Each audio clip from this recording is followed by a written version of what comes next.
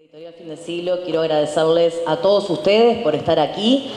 Es muy lindo verlos y es muy lindo que hayan venido a celebrar este nuevo libro de Carlos, una vez más le agradecemos muchísimo que nos haya confiado, como lo hizo con los orígenes en 2019. Pero este además es un libro que tiene un gran peso, que tiene una gran importancia, que es, es un libro fermental y necesario para reflexionar en torno a cómo podemos construir sociedades más igualitarias sin por ello sacrificar libertades. Creo que en el fondo esa es la pregunta que se hace Carlos y este libro es un aporte muy interesante eh, en ese sentido. Quiero agradecerles también a los presentadores que vinieron esta noche, a Isabel Shevor, que es eh, doctora en Historia, que además coordina el Laboratorio de Preservación Audiovisual del Archivo General de la Universidad, y a José Legaspi, que es escritor y periodista, que vivió en La Habana entre el 87 y el 88, que fue afiliado de la UJC por bastante tiempo, que luego fue Frente Amplista Independiente y que finalmente, de forma bastante pública en 2016, rompió con el Frente Amplio en una carta que publicó en la agencia UI Press. Les recomiendo que la lean, es muy interesante.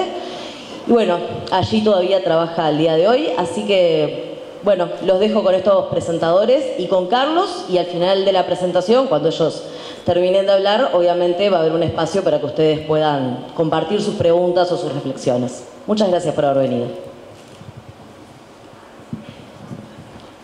Bueno, creo que tenemos que empezar, romper el silencio, como nos pide el libro, ¿no? Este, y bueno, parece que me toca a mí romper el silencio, cosa eh, que implica un desafío, que agradezco a Carlos que me haya este, otorgado el privilegio de participar de esta presentación y, bueno, de, compartir con ustedes eh, justamente un desafío que él se plantea que es el de este, romper un silencio sobre un tema que es complejo, sobre un tema que, nos llega desde la razón y desde el corazón y que por lo tanto eh, desde ese lugar es que eh, cuesta hablar.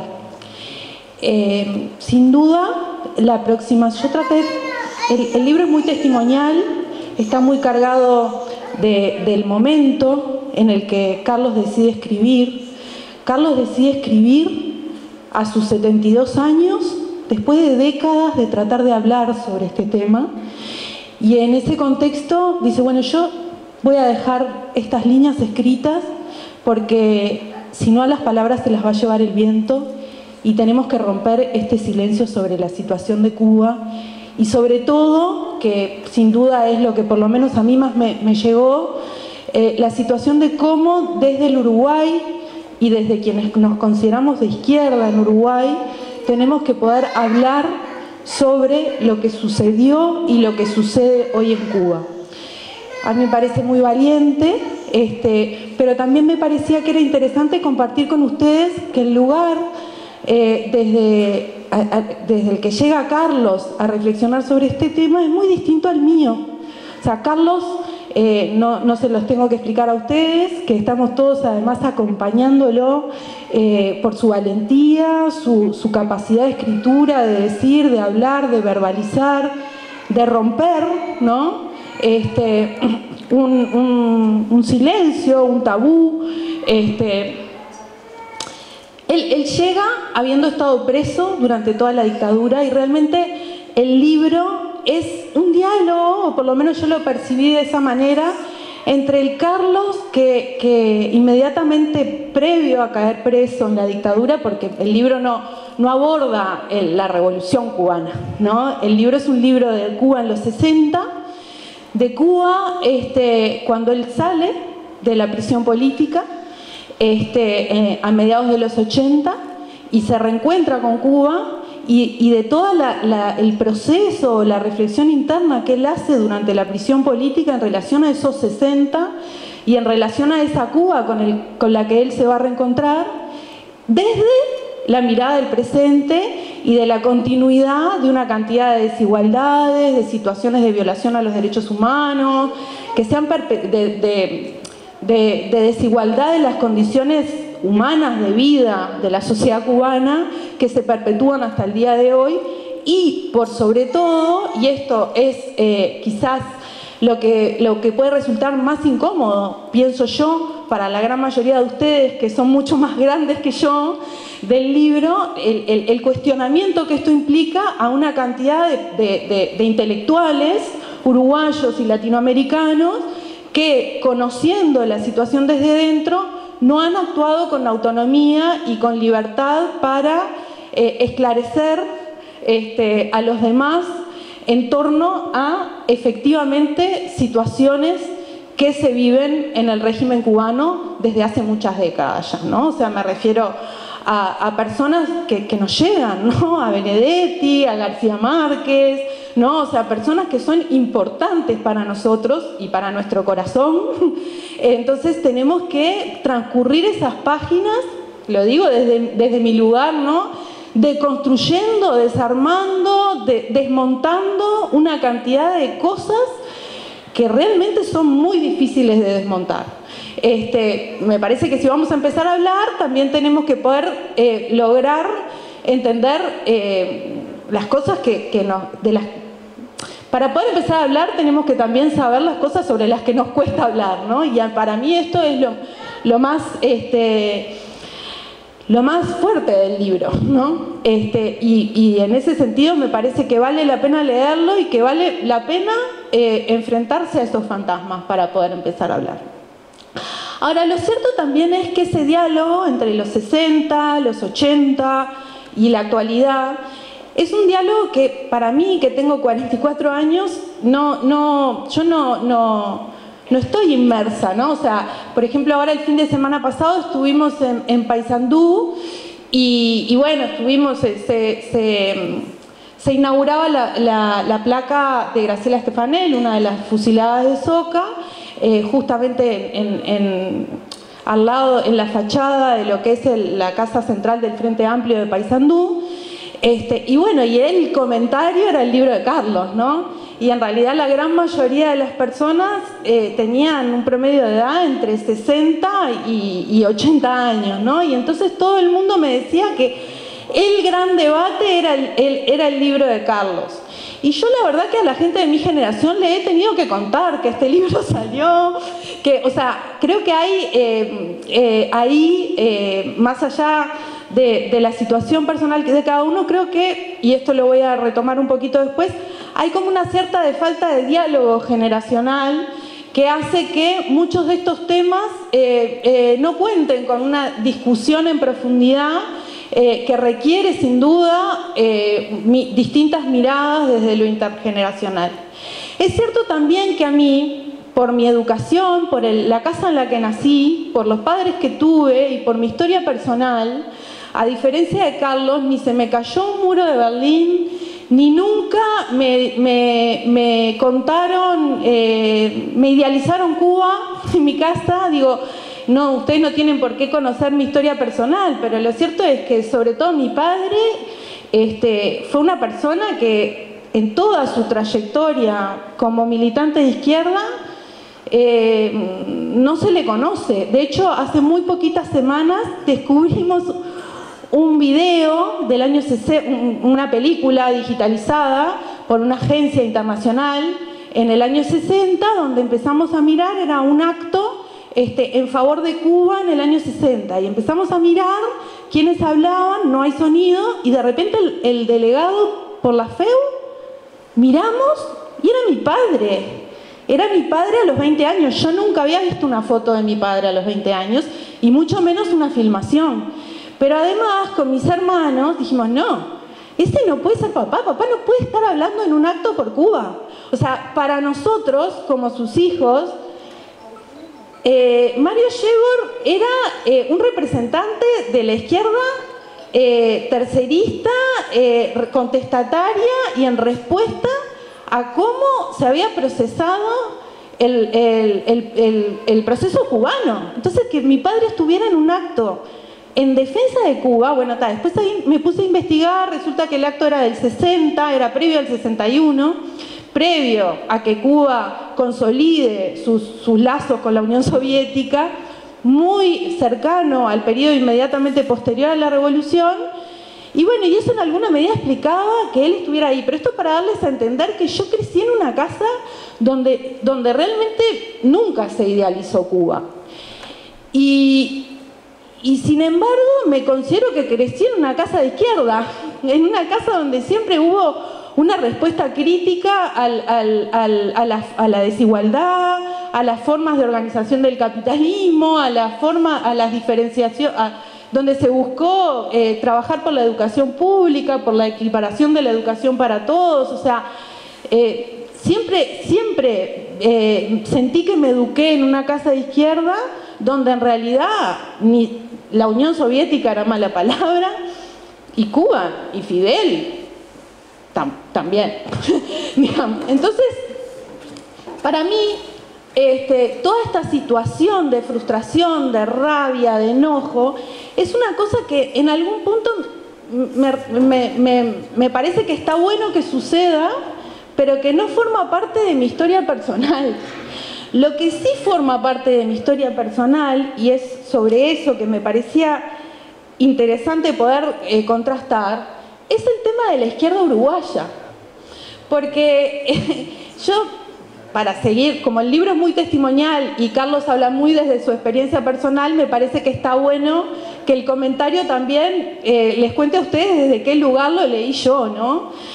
Y yo lo leí desde una niña que nació en Venezuela por el exilio de sus padres, también en el Caribe, eh, también en una sociedad no solo llena de colores, de trópico, de salsa, de merengue, este, y de, pero también de un ambiente intelectual en esa Venezuela de los años 70 y 80, fermental, de libertad, de discusión, de, universidad, de gente hablando, ¿no? y de una permanente expectativa de volver a un Uruguay que cuando volví y empecé a crecer me encontré con una sociedad gris, con una sociedad a la que le costaba mucho discutir, con eh, un movimiento estudiantil al cual cuando me integré, e, ese movimiento estudiantil a mí me recibió diciéndome, llevo, ah, pero entonces tú sos la hija del que vino durante el gobierno de la calle a desarrollar las políticas neoliberales en la educación en Uruguay. O sea, el, el, nivel de esquemón que tenían con respecto a algunos sectores de la izquierda era gigante, ¿no? O sea, y creo que lo sigue siendo. Y que entonces, digo, Cuba tiene un montón de problemas, es claramente una dictadura. Todo lo que denuncia Carlos hay que pensarlo, pero creo que si hay algo que es interesante del libro de Carlos es que nos interpela en relación a cómo el Uruguay está analizando eh, la izquierda, que en el fondo a mí es una de las cosas que me importa mucho, porque quizás sí ahí, no disintiendo, pero un poco como distanciándome un poco, en algún momento este, Carlos refiere a, que, bueno, ¿qué nos dejó esta experiencia al final del libro? ¿no? O sea, si por lo menos se logró que el capitalismo fuera un poco menos desigual. Bueno, yo creo que el capitalismo en el que vivimos es tan desigual como las dictaduras de Cuba, o sea, que es una sociedad que requiere de un millón y medio de transformaciones, o sea, que nosotros estamos acá y estamos realejados de, la pobreza, el hambre y la marginación que está viviendo un porcentaje muy importante de la sociedad en la que estamos inmersos y que eso también es producto del capitalismo y que eso lo tenemos que transformar, digamos. O sea que me importa cómo la izquierda se ve a sí misma y cómo analiza los ejemplos o los procesos eh, de los cuales fue partícipe y eso es la izquierda uruguaya, digamos. Y, yo, y en ese sentido este, sin duda, eh, creo que hay, por un lado, eh, porque digamos, el libro también te deja pensando en relación a por qué la izquierda uruguaya está en esta situación de no poder tener una perspectiva, sobre todo cuando hay algunos procesos de izquierda en América Latina que, que, despiertan entusiasmo. Yo no sé ustedes, pero a mí Boric en Chile me despertó entusiasmo. O sea, a mí que un presidente en Colombia hable de paz, me despierta entusiasmo, o sea, quiero pensar que no es todo negativo lo que está pasando, ¿no? Y entonces, este, ¿qué es lo que hace a que la izquierda uruguaya no pueda pensar de manera crítica y analítica lo que está pasando a su alrededor. Bueno, algunos podrían, no sé, por ahí anda Gerardo, no, no sé, algunos podrían eh, pensar que hay una mirada históricamente este, para adentro. Yo creo que hay un muy fuerte impacto de eh, las deudas que, al Uruguay le dejó la dictadura militar más de corte fascista. O sea, creo que, que hay un montón de respuestas que el Uruguay no tiene sobre esto y que eso hace que pese mucho en la izquierda eh, una, denuncia frente a la, falta del esclarecimiento de verdad con respecto al tipo de dictadura que nosotros tuvimos y un dejar al costado el análisis de otro tipo de dictadura. Yo no quiero extenderme mucho, pero me acordaba leyendo el libro muchísimo de una primera experiencia que yo hice eh, como archivista en el año 2006, como archivista francoparlante, los franceses desde el fin de la Segunda Guerra Mundial Ahí Andalicia, que fue como una de las promotoras que yo fuera a Francia a hacer ese stage. Es un, un stage para archivistas francoparlantes de todas partes del mundo que Francia organiza desde el fin de la Segunda Guerra Mundial. Y entonces el interés es que archivistas de, estábamos africanos, de Europa del Este, de Europa Occidental, de Canadá, de Estados Unidos, de América Latina, de todas partes, ¿no? En un momento donde estaba muy sobre la mesa el tema de cómo abrir los archivos de los servicios de inteligencia de las dictaduras de todo tipo, porque el Consejo Internacional de Archivos fue muy claro en relación a que había que promover la apertura de los servicios de inteligencia de Franco, de los países de Europa del Este, ¿no? de las dictaduras militares en el Cono Sur. Y entonces yo me hice amiga de los archivistas eh, húngaros, polacos, rusos, ¿no? Para los cuales eh, ellos querían abrir los archivos de sus dictaduras, que habían sido las dictaduras de los países comunistas. Entonces, cuando nosotros hablábamos de abrir los archivos de la dictadura en Uruguay, ellos me decían, para mí es lo mismo. para, mí, para mí lo que tú estás describiendo es lo mismo que, ¿no? Eh, y lo cierto es que podemos analizar desde un punto de vista más general que con la caída del muro de Berlín y con la caída del socialismo real, esos archivos han tenido procesos de desclasificación mucho más masivos que los archivos de las dictaduras militares en el Cono Sur. ¿A qué me refiero con esto? A que ahí persiste una impunidad que todavía existe, ¿no? Y que todavía existe en Cuba también, en relación a, su información y a sus archivos. Entonces, cuando los archivos no están abiertos, hay una impunidad sobre eso que persiste. Y es, real entonces que para la sociedad uruguaya sea más importante hoy este, entender y esclarecer los delitos sobre esa dictadura que sobre la, violación a los derechos humanos en Cuba. Trato de entender, no de justificar. ¿no? Este, y creo que ahí hay una clave. O traté de, de, poner sobre la mesa algo para discutir sobre por qué, porque creo que a todos nos angustia saber por qué este silencio. ¿no? Y en segundo lugar, y esto puede ser capaz más discutible, pero yo creo que la izquierda uruguaya, en todo su periodo de ejercicio del poder ejecutivo en el gobierno, porque obviamente todavía ocupa espacio de poder legislativo, o sea, no, está fuera del sistema político, le cuesta muchísimo los procesos de renovación generacional y de renovación de género, que es una cosa que el mundo, eh, en el mundo está explotando, o sea, tenemos ejemplos por todos lados, de, o sea, el, nivel de, el promedio de edad de los políticos de izquierda en Uruguay y su eh, prevalecencia masculina hace que todos los problemas de la homofobia, de las discusiones en torno a, qué pasa con los dirigentes políticos que iniciaron los procesos de cambio social en la izquierda de los 60, sea mucho más difícil de discutir, porque están implicados, o sea, tienen una implicancia biográfica. Entonces, también ahí me parece que hay una clave que, es gravísima, que eh, es gravísimo lo que se vive en Uruguay en ese sentido. Este, ahí, eh, yo soy Isabelita para muchos de ustedes y tengo 44 años, o sea, no soy una piba, tengo hijos adolescentes, o sea, y hace 20 años que, me dedico a, a, hacer docencia universitaria y soy una piba para ustedes. Entonces, eh, hay, un tema ahí que, es muy, complicado para abrir el diálogo. Entonces me parece muy valiente, Carlos, que nos hayas invitado a esto, que nos invites a pensar hasta el último segundo, que haya que pensar, debatir y discutir. Te apoyamos en todo lo que significa romper el silencio y, te felicito y los invito a ustedes a que desde el lugar en el que quieran, puedan, lo puedan sostener, porque el libro es fuerte. Si se pueden enfrentar a fuertes películas sobre este tema, enfréntense al libro de Carlos, léanlo y, bueno, vamos arriba. Muchas gracias.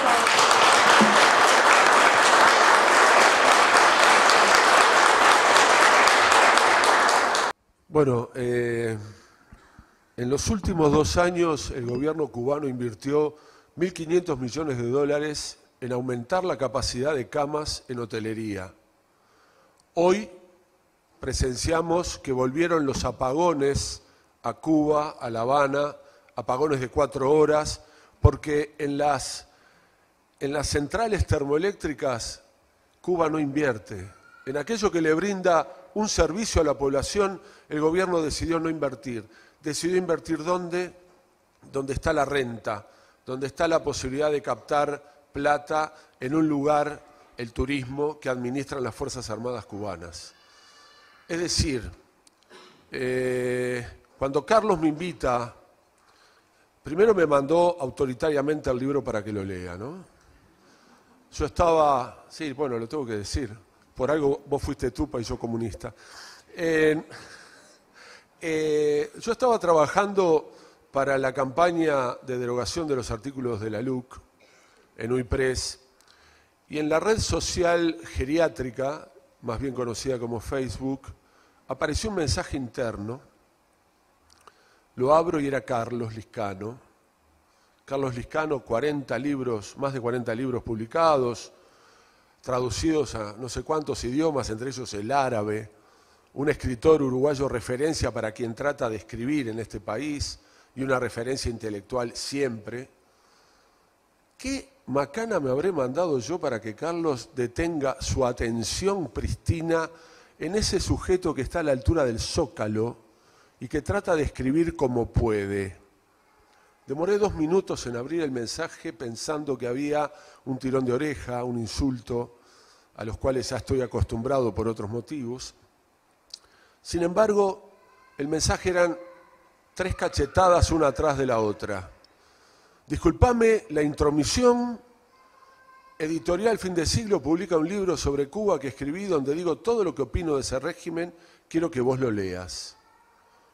Bueno, le agradecí, me sentí honrado, se lo dije, me mandó el PDF y le advertí, mirá que trabajando con el Tano Valente en una campaña electoral, es imposible que yo lo pueda leer ahora, vas a tener que esperar que el referéndum pase. Me dijo, no hay apuro, no te preocupes, léelo cuando puedas y me decís. Si Canalda me hubiera advertido que leer el libro implicaba firmar al pie de cada página como que estaba a favor, lo hubiera hecho sin ningún problema. Desde el título, es decir, yo tengo un problema, tengo varios, ya se habrán dado cuenta, pero uno que tengo es que cuando me dan algo a leer que no elegí, no quiero decir con esto que me lo hayas impuesto, pero cuando me piden, lee esto, se activa algo químico en mi cabeza que en algún momento de la lectura salta un videoclip y si es un tema de música que no me gusta, el libro lo corto y lo tiro y no lo leo más. Desde el título, que no sé si fue idea tuya o de la editorial. Bueno, muy bien. Desde el título, que es Cuba, de eso mejor ni hablar, empezó a sonar en mi cabeza Sumo y aquel, aquella voz de Luca Prodan entonando el estribillo, mejor no hablar de ciertas cosas. Realmente, Carlos, si el título hubiera sido Cuba, la señora de las siete décadas lo hubiera tirado al carajo y no estaría hoy acá y nos hubiera peleado, porque donde empezara a sonar Arjona en mi cabeza leyendo tu libro, hubiera sido un asco. ¿eh? Por suerte no ocurrió y por suerte empezamos, establecimos una ida y vuelta que en realidad fue más bien un demostrarle mi admiración por haber puesto sobre papel aquello que yo pensaba y opinaba sobre el mismo tema, sobre Cuba, la dictadura, sobre Cuba y cómo se ha, manejado la familia Castro montando un poder absoluto sobre las Fuerzas Armadas, el Ministerio del Interior y el Partido Comunista, y sin permitir, por asomo siquiera, que hubiera una expresión de libertades, de derechos, que pudiera permitir a los cubanos la libertad de asociarse, de reunirse, de expresar un pensamiento distinto al del Partido Comunista Cubano. Y no lo dice cualquiera, lo dice uno que fue comunista. Cuando Carlos plantea las dudas, ya en el penal de libertad, y los compañeros, alguno le dice, pero tú eres fascista. Yo perfectamente, si hubiera estado ahí, hubiera sido ese que le dijo eso. Yo fui de los comunistas que teníamos las certezas absolutas, no dudábamos nada sobre ningún tema, ni lo que hubiera ocurrido antes de que yo nací, ni lo que ocurría durante mi juventud, ni lo que iba a ocurrir al final. Al final, el Pac-Man comunista se iba a comer al capitalismo y le iba a hacer mierda. Me equivoqué, obviamente, ¿no? Y las certezas me llevaron a ser un intolerante, un militante absoluto de la causa cubana, en referencia personal, si me lo permiten, quemé tantas banderas de Estados Unidos en las proximidades de la embajada, que en realidad si me hubiera vuelto socio de alguna casa de plásticos, hoy sería millonario. Eh, debo reconocer que las dudas empezaron precisamente en Cuba, ese año que estuve viviendo allí, entre el 87 y el 88. Y saltó por algo que en ese momento no nos importaba a ninguno, todos cantábamos a viva voz, patria o muerte venceremos, el martirologio del que habla en el libro Carlos había transmitido a la izquierda latinoamericana, estábamos dispuestos a morir por Cuba, por Fidel, por la revolución y por ese socialismo, que nunca fue tal, lo descubrimos después, pero en ese año que estuve allí y me tocó despedir a dos contingentes de compañeros cubanos que iban a Angola a egresar de su curso de cuadros en la Escuela de Formación de la UJC, y recibí a los dos después, la cara con la que volvían y los comentarios que hacían de la guerra en Angola a mí me dejaron una duda enorme. El desprecio por la vida humana propia y la ajena llevó a que un compañero, el chino, un queridísimo amigo, me dijera, no, Legaspi, acá nosotros teníamos la orden de disparar al frente a los sudafricanos y a los angoleños, cuando tiraban el fusil y huían espantados, pegarle un tiro en la cabeza. Yo quedé frío al escuchar eso porque no me parecía heroico matar a aquel que supuestamente vos estabas ayudando a liberarse de la agresión, de la contrarrevolución y de la probable invasión de Sudáfrica desde Namibia. No me gustó.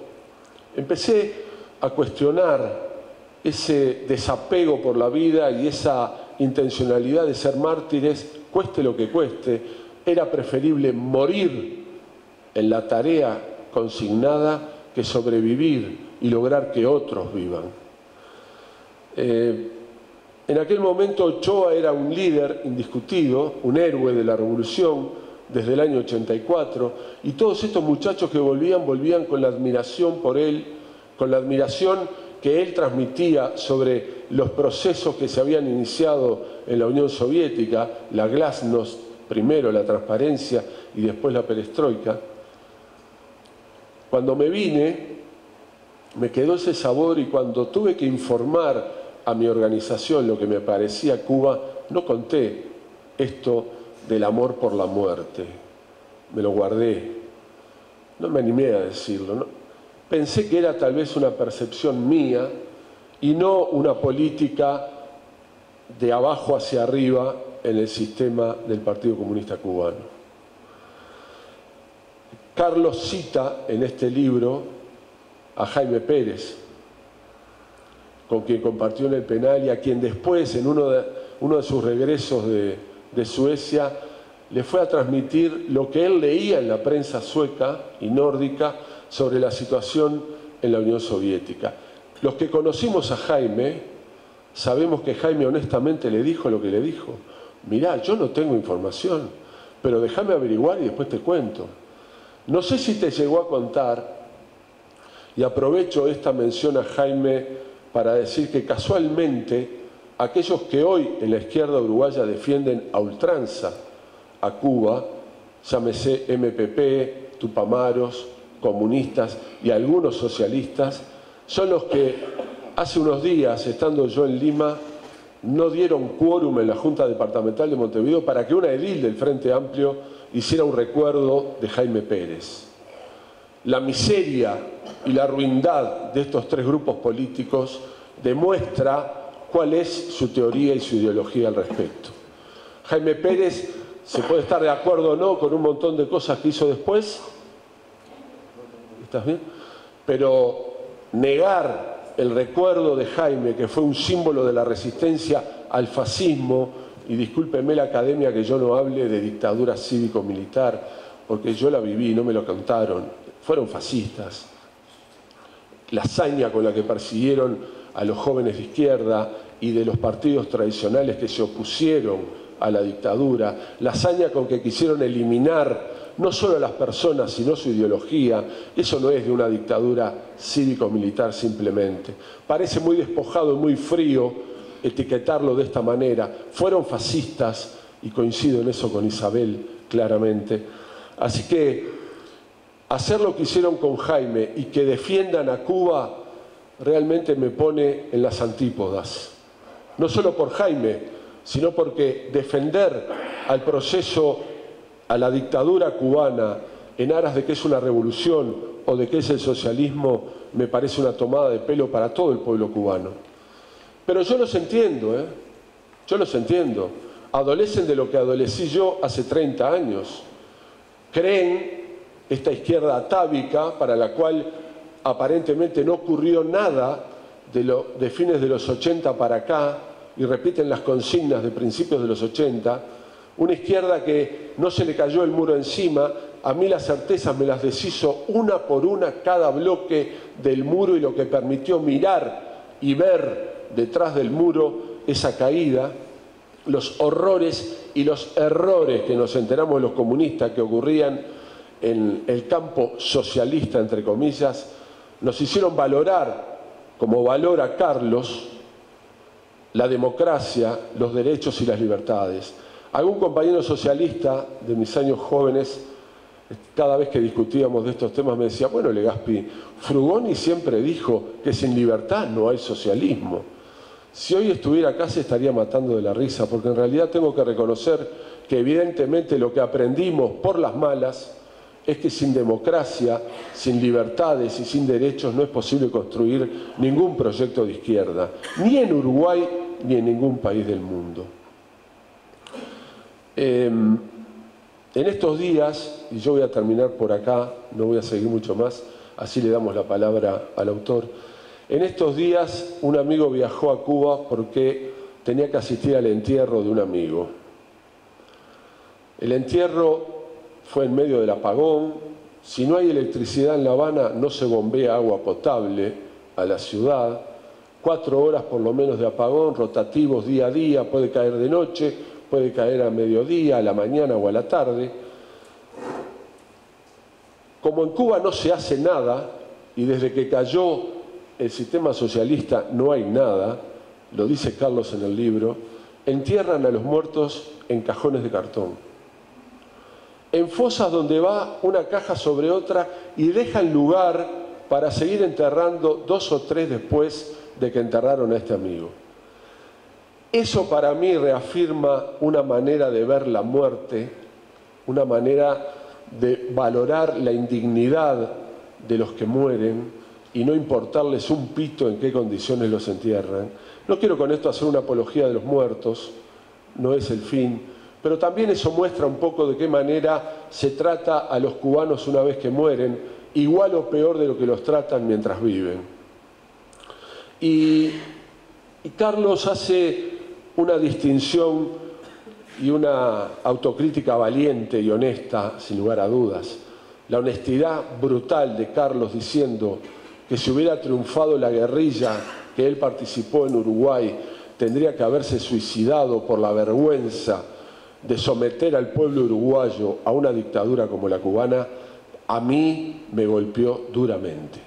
La verdad me resulta admirable, Carlos, no solo eso, sino la valentía con lo que por lo menos alguien que sigue siendo de la izquierda frente amplista, yo ya no lo soy, desde el 2016, asume la valentía de decir, Cuba es una dictadura, y no le tiembla el pulso ni le tiembla la voz para afirmarlo.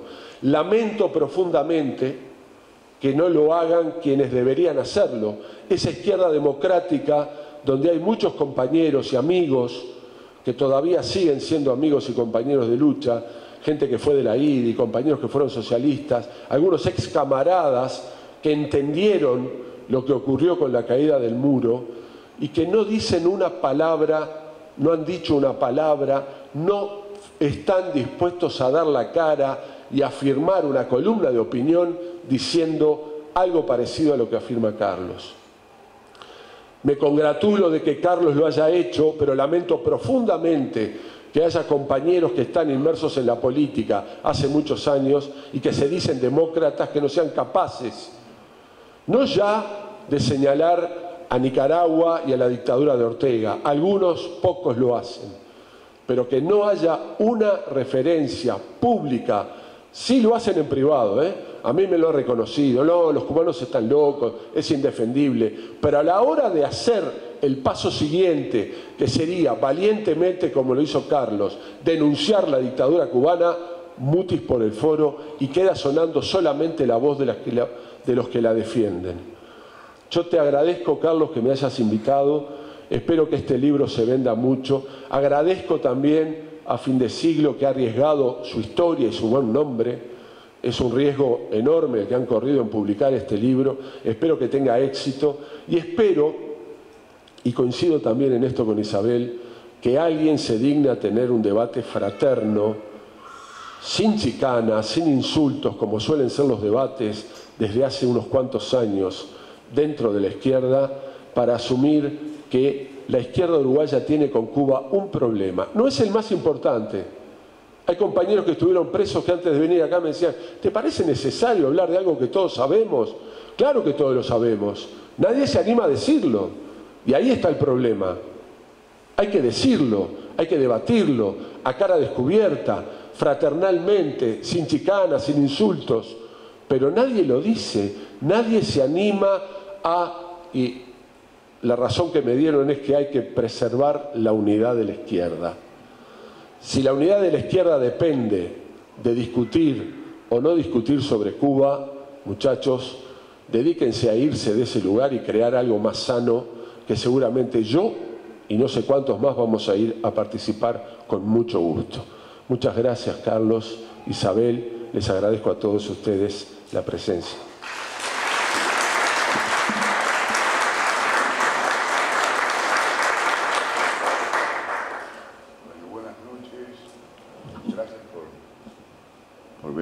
Gracias Isabel, José.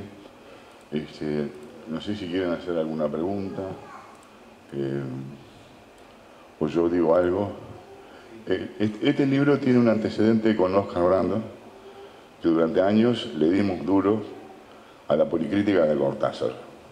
Nunca avanzamos nada porque Oscar no trabaja, pero bueno, este, me, deja solo este, y trabajo yo. Eh, me, preocupaba la influencia de Cuba sobre los intelectuales y los escritores latinoamericanos. Cuando en el Congreso de La Habana del año 68 se declara que eh, la presencia del guerrillero al lado del intelectual lo deja aplastado. El guerrillero, ustedes imaginan, el guerrillero es un cubano de 30 y algo, mugriento, con olor a sudor, pistolacito, la metralleta colgando, barba. El tipo sabe de historia, de economía, de estrategia, de estética, de medicina. Eh, es viril, como ¿Eh? Es viril. Sí, sí, son todos viriles, son todos viriles. Este, y cómo la intelectualidad latinoamericana aceptó eso. Antes el intelectual era el intelectual comprometido, comprometido con la vida, con la democracia. Un tipo que no aceptaba las injusticias en ningún lugar del mundo, en la calle, le pegaba a una señora y decía, loco, pará, no le pegues. Con la vecina, el vecino. Los cuales lo transformaron. El intelectual comprometido no sirve para nada. Lo que sirve es el revolucionario. Comprometido es un poquito. Ahora, ¿qué es un intelectual revolucionario? sí, el que cumple con las directivas del partido, de la burocracia. Y ahí se sumaron este, mediocres como Fernández Retamar, por ejemplo, a quien le tengo un desprecio muy grande, este, que presionaron a, presionaron a... Yo tuve tres escritores, porque me parecieron paradigmáticos. Eh, García Márquez, eh, Cortázar y Benedetti. Eh, García Márquez por la influencia que él tenía en Cuba, amigo de Fidel Castro, tenía casa propia, este, servicio doméstico de los 365 años. Un Mercedes-Benz blanco pude saber, está documentado, Fidel Castro le dio un Mercedes-Benz blanco que lo usaba cuando venía. Eh, y un canalla García Márquez. Siempre le pegó a los más pobres, a los más pobres cubanos, siempre. sí, se fueron por, por Mariel, se fueron. Claro, porque él se tomaba un avión privado y se iba a ver a Mr. Norman, a Clinton, eh, y, a, Felipe González y a, Torrijo, eh, y, siempre criticando, dice, pero además critica con información que le da la policía política, porque eso no está en los juzgados, no, hay, en los juzgados no, se dedican a esa cosa, no se dedican a decir, el tipo era un matón, bueno, no, se dedica a eso, sería un matón, pero ese calificativo no... Eh, Después, García Márquez nunca fue guerrillero, ni intelectual, ni revolucionario, ni nada. Era amigo de Castro. Eh, Cortázar luchó toda la vida por ser aceptado. Pero era pituco, porteño, vivía en París, escribía rayuela, esas cosas medias así, que poco viriles. Este, claro, sí. Este, pero lo, de la virilidad está todo el tiempo, ¿eh? está todo el tiempo en documentos oficiales. Eh, eh, los que no son viriles no pueden representar a Cuba fuera del país. Es más, hubo artistas uruguayos que vivían en Cuba que persiguieron homosexuales cubanos, me consta. No lo puedo citar porque no tengo documentos, pero sé quiénes son, ¿eh? Sé quiénes son. Se sumaron, ah, aquel es medio maricón, porque eso es lo que me refiero a usar.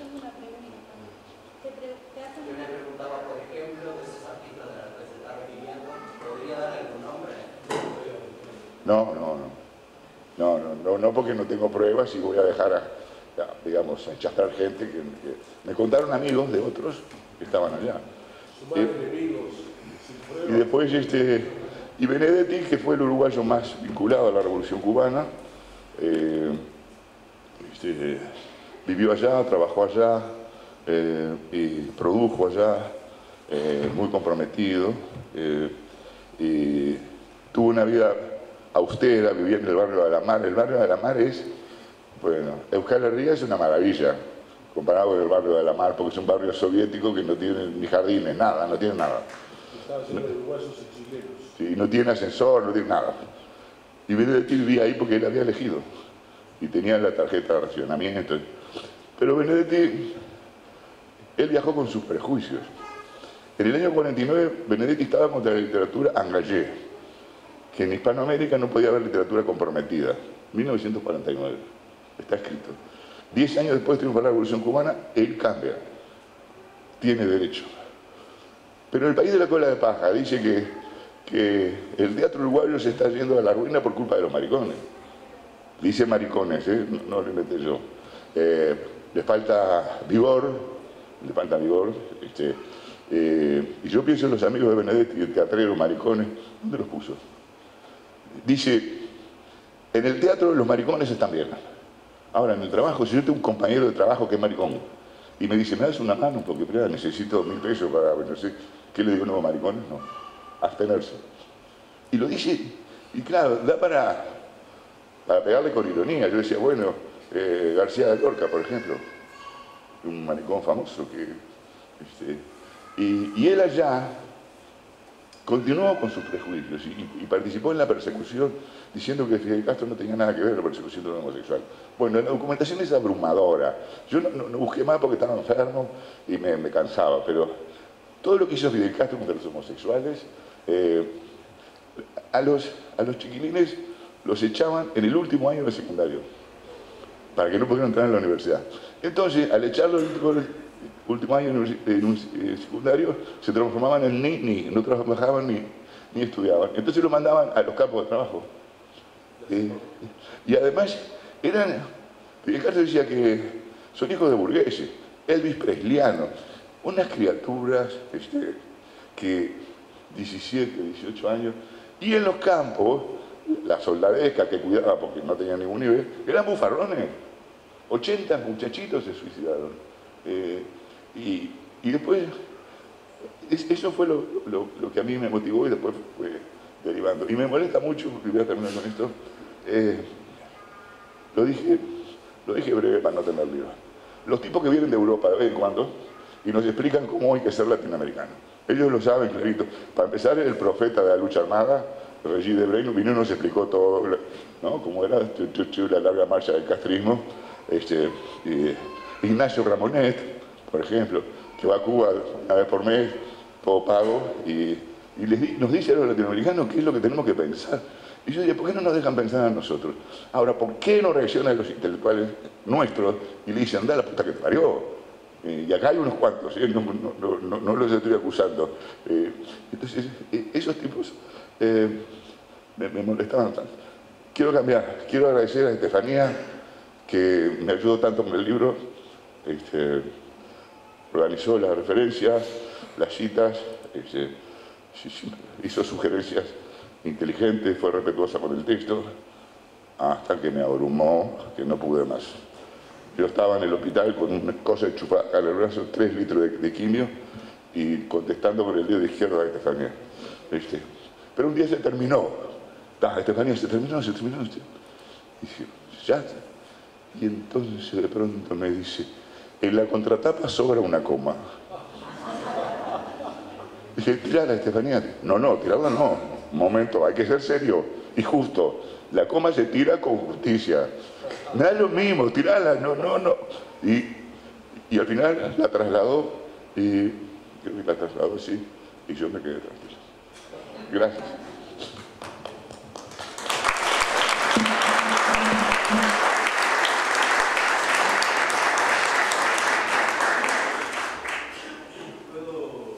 Estuve preso en el establecimiento militar de reclusión número uno, llamado vulgarmente penal de libertad, con el número 705. Y estuve cinco años exiliado en Suecia. Y me decían facho en los años 90 por decir que en Cuba había una dictadura. En los años 90. Entonces yo quisiera decir esto.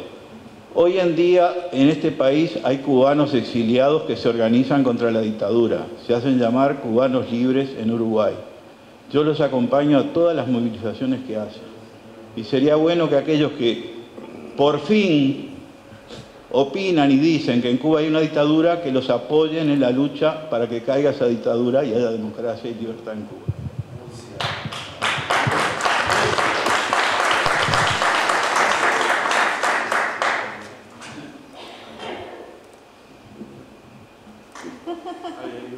¿Qué tal? Buenas noches. Yo quería hacerte una pregunta a, ti. Eh, cuando decís que te gustaría que se hiciera un debate entre la gente de izquierda, me, gustaría que me dieras nombres.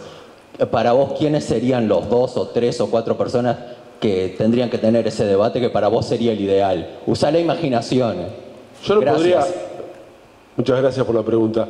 Yo no me animaría a señalar a nadie los que me conocen y los que conozco que están ahí, que han ocupado cargos de gobierno e integran la generación 83 de esa izquierda democrática que se dice serenista y que se dice progresista, cualquiera de ellos podría participar de un debate con los otros. El tema es que yo creo, y te la hago corta, no es posible un debate porque no están dispuestos a poner en riesgo la unidad de lo que fue una herramienta para la para el cambio que hoy sería una herramienta para volver a ejercer el gobierno y ocupar un cargo, nada más.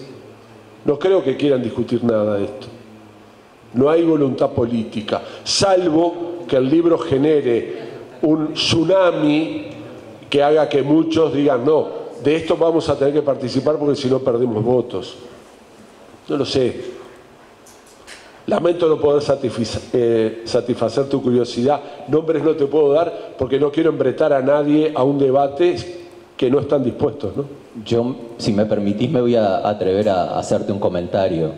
Yo he pasado, soy simplemente alguien que le gusta leer, me he pasado la vida entre los libros. Yo creo que no se va a generar eso. Ojalá me equivoque. Lo que decís, la tormenta del libro, en parte por culpa de los libreros. Gracias.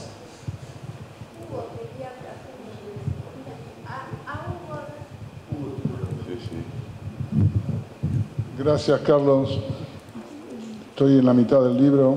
María no me dejó seguir porque estamos compartiendo el libro. Este, eh, mucho de lo que se dijo, sabes que te, te, lo dije ya, que estamos de acuerdo. Pero hay una cosa que dijiste al final que tengo otra cosa, pero eso te lo voy a decir después en casa. Pero acá, te voy a decir, este, no es tanto eh, lo que te referías a, a, la persecución a los homosexuales, que la hubo, indiscutiblemente, y que la sigue habiendo, pero había, hubo, como hay en el Uruguay y en muchos otros países, un doble discurso tenés a Guevara, director del Instituto Cubano del Cine, Guevara, ¿te acordás? Que era un homosexual obvio, con pareja oficial, embajador en la UNESCO, que estaba en el, comité, en el comité político, en el buró político del Partido Comunista de Cuba, porque le había salvado la vida a Fidel con un brazo. Entonces, Guevara se salvaba. ¿Cómo se salvaba? Y se salva Miguel Barné. Es decir, el, problema era que si pertenecías al aparato, no había problemas. Eh, la cosa viril, es decir, en realidad era un doble discurso. El mismo doble discurso que hemos tenido no solamente en la izquierda uruguaya, en todos los partidos y los tenemos ahora en el Parlamento. Ese es el doble discurso hipócrita de muchas democracias y de muchas dictaduras. Solamente eso. Y supongo que estarás de acuerdo. Y si no, lo conversamos después. La, historia de, de René Arenas es, triste, pero es cómica. Siempre la historia de Reinaldo Arena es, triste, pero es cómica. Siempre preso, siempre pasando hambre, enfermedad, un campesino que, llega a La Habana. pero los cuentos de él, estaba preso y le dijeron, firma acá, no sos más puto. Y te soltamos. Y dijo, yo te firmo lo que quiera. Y, lo soltaron. Cuando se iba en el Mariel para Estados Unidos, eh, fue y se presentó como homosexual. Y los oficiales le preguntaron, ¿activo o pasivo? Porque eh, eh, era muy importante, los activos no eran pasibles de irse, porque un activo es un macho, en definitiva. No, no, es viril, es viril, le da lo que se le ponga adelante. Pero entonces Reinaldo, como sabía eso, porque a un amigo le habían negado el permiso, dijo, no, pasivo, pasivo, yo pasivo. Y había unas psicólogas ahí, y me hicieron caminar. Y yo me hice la loca. y el oficial dijo, ahí te me lo sacas enseguida. Y se hizo la loca. Entonces, eh, y, es muy triste y muy, muy, muy cómico. Ahora tengo un amigo en el Facebook que, es homosexual, un hombre mayor, y se dirige a los jóvenes. Y los jóvenes lo admiran, dice, acá los maricones, acá las lesbianas, está hablando, acá medio y medio, el que quiera cambiar de fila, que cambie, da lo mismo. Entonces, y claro, los chiquilines con eso se divierten, no, no, porque este, van contra los prejuicios. Bueno, les agradezco. Yo iba, a hacer un, comentario, en realidad, eh, como reflexión. Esto de mejor ni hablar es, se ve como una estrategia, ¿no? O sea, yo lo, veo y lo analizo como estrategia, que es la misma estrategia que surgió para con Venezuela, dejar de discutir el tema cuando ya era indefendible, ¿no? Hasta hace pocos años había como un intento de defensa de parte de la izquierda y después se quedó. Y eso refuerza, entre otras cosas, la negación y la poca difusión de información, que eso es lo que de alguna forma hace que, o sea, el no hablar bloquea la capacidad de que las nuevas generaciones critiquen o, pongan en duda el relato, la fe y el faro que todavía sigue pesando en buena parte de la izquierda. Al punto que el año pasado la izquierda uruguaya se negó a intentar dar un paso o una discusión de qué estaba pasando en, julio del año pasado eh, en las manifestaciones en, Cuba. La represión y lo que todos vimos, menos el Frente Amplio, que no se animó, es más, algunos se animaron a hacer un acto en las planadas de la universidad en defensa de Cuba, o en realidad de, los cubanos, o como le llamen, ¿no? Sí, en defensa del régimen, obviamente, pero en defensa de, solidaria con Cuba, le llaman. Y cómo eso no nos choca al punto de, de, no ver la estrategia que está articulada por detrás, que funciona en los distintos países, ahora promovida incluso por, por, Venezuela y por la diplomacia eh, articulada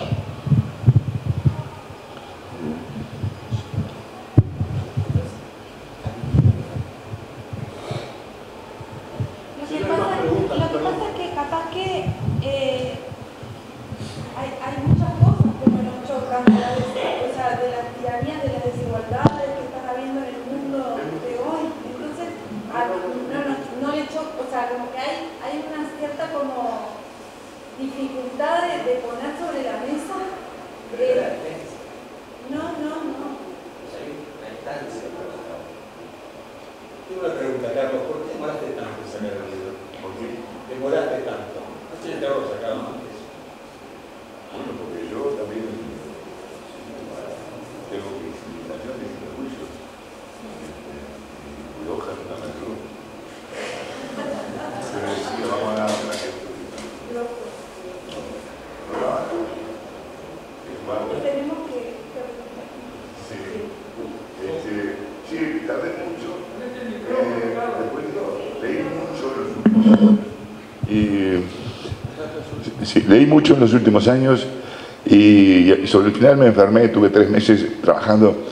con ese libro como una bestia este, y,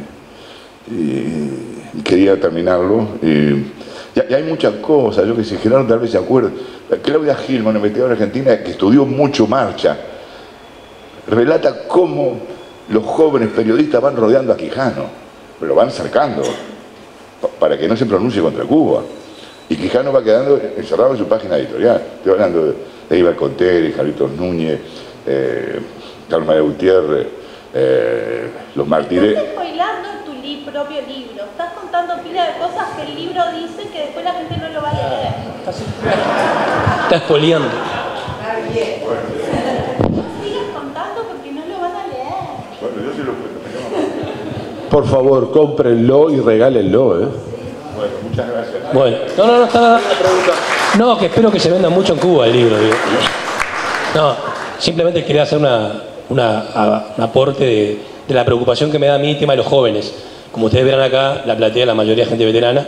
Me preocupa que los jóvenes, la idea que tienen los jóvenes de hoy, lo que es esa Cuba que desconocen y que tienen el relato de que le cuentan y nada de todo lo que estamos hablando. Una cosa que me preocupa, por ejemplo, como, como de la cual yo integré y orgullosamente, por ejemplo, es la FEU la FEU nos sacó absolutamente, ya no es un tema de partido político, es un tema de movimiento, de solidaridad con los jóvenes. Todo el fenómeno de San Isidro, de los jóvenes que han ido a hablar por dar, tener libertad, jóvenes de ahora, no a gente de la CIA, a gurisa de veintipico de años, todo el, Cuba, el fenómeno de padre, patria este, y vida, todo ese fenómeno de artistas, de gente que está requiriendo Bueno, yo no he visto ningún comunicado acá de, de movimientos sociales, ya no hablo políticos, ideológicos.